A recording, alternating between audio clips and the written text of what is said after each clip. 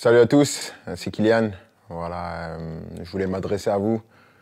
Depuis le temps, j'avais toujours dit que j'allais m'adresser à vous quand le moment serait venu. Et donc, euh, je voulais vous annoncer euh, à tous que voilà, c'est ma dernière année au, Paris Saint-Germain. Je ne vais pas prolonger et, je vais terminer mon aventure dans, quelques semaines. Je vais jouer mon, mon dernier match au Parc des Princes dimanche.